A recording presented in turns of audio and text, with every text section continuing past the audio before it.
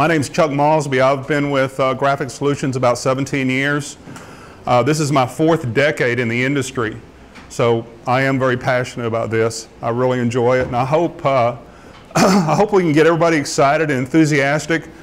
I want you to ask questions. I, uh, I'll be glad to help you. And we all learn from all that, you know. So I don't want you to leave with uh, not knowing, you know, hey, I should ask that question.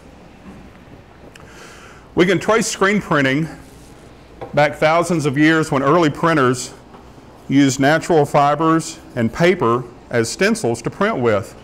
Some of them were actually done with human hair. As time went on, the Chinese developed silk, and silk can be stretched at a very high tension. Thus, we get silk screening, and some people still call it, although uh, silk is not used anymore. Uh, polyesters, that's our most popular material.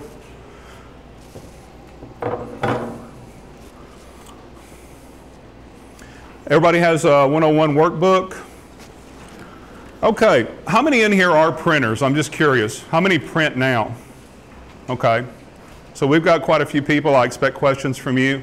Uh, the rest, please ask any questions you have. Okay, we start with art. Good artwork is the first requirement of quality end product. You're probably just like me, you wanted to, you had an idea.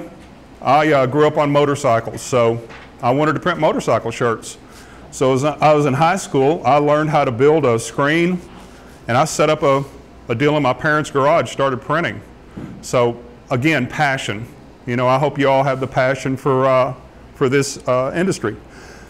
Computer programs such as Photoshop and Illustrator are now used to produce art. Illustrator are vector-based. A vector is a point, and that's how we produce illustrations, fonts, and logos. Photoshop are raster. If it's a photograph, that's a raster.